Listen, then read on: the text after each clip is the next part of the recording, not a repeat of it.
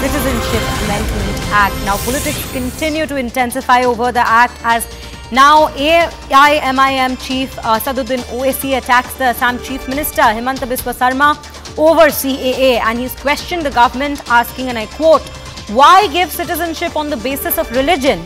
This is the particular question that's been raised by the AIMIM chief uh, Asaduddin Owaisi and it's been posed towards the Assam chief minister. And right now we have a uh, reaction coming in from Asaduddin Owaisi. Let's first have a look at that.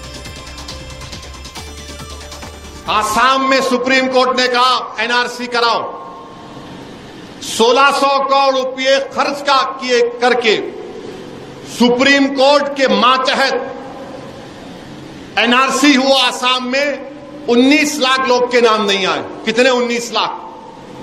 जिसमें से 10 से 12 लाख हमारे हिंदू भाई हैं। डेढ़ लाख मुसलमान हैं। अब जब सी डबल ए आ गया तो क्या होगा मालूम आपको? ये मैं नहीं बोल रहा हूँ, आसाम के चीफ मिनिस्टर बोल रहे हैं क्या अमित शाह ने मेरा नाम लेकर पार्लियामेंट में नहीं कहा, ओवैसी जी, एनपीआर भी होगा, एनआरसी भी होगा।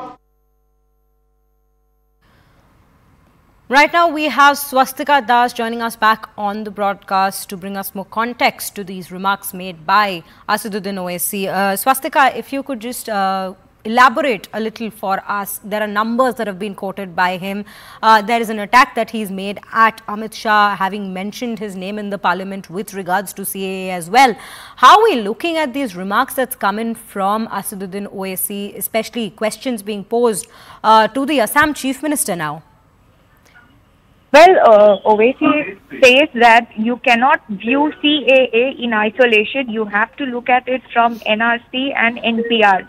And Mr. Asaduddin Owaisi claims that on the floor of the parliament, Mr. Amit Shah directing him said that these two will also be brought in. Particular example of Assam is because, remember, in Assam when uh, NRC was conducted, uh, that is when uh, Bengali Hindus, several of them were left out because they were dubbed as illegal migrants. And back then, um, uh, illegal immigrants. And in fact, back then, the state government had promised to include them and give them citizenship.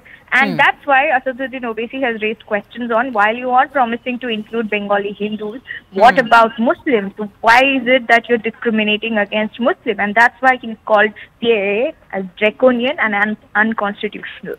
Right, Swastika, definitely plenty of questions.